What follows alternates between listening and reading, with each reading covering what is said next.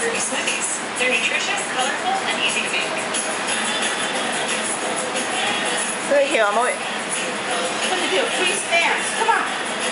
They're. Find the complete recipe and the Ruby's from October printables at family.nickjr.com. To get started, you'll need a blender, frozen fruit, plain low-fat yogurt,